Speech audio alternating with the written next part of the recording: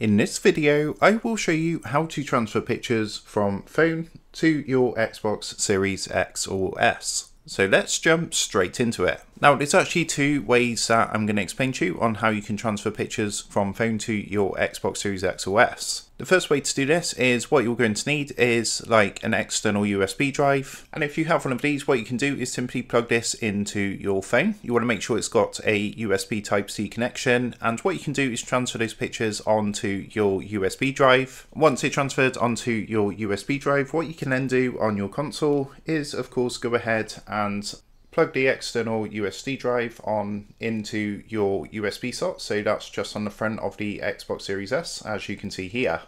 So once you've plugged that into your Xbox, what you're going to want to do is come up to the top and press onto the gear icon to go into your settings.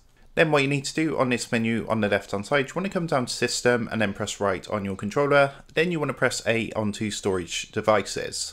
So from here, if you do have your USB device plugged in, you're going to see that show up here. And what you can do is press onto it to access it and access all the pictures and things like that on your drive. Now, the second way to do this is there's actually an app that you can use. So what you're going to want to do on your Xbox is come into the store and you want to go ahead and press onto the search button just here. Then what you want to do in the search box is look for something called Dropbox. So you just want to type that into here and this is what it looks like Dropbox Lite. And all you want to do is basically download this onto your console. It's completely free to download and you also want to download this onto your phone. Now once this is downloaded on your phone what you can then do is upload the photos from your phone to Dropbox and then what you can do is log into the same Dropbox account on your Xbox and you'll be able to access the photos that way and of course transfer the pictures onto your Xbox Series X or S. So that is how to transfer pictures from phone to Xbox Series X or S. With that being said, I hope this quick tutorial did help you out today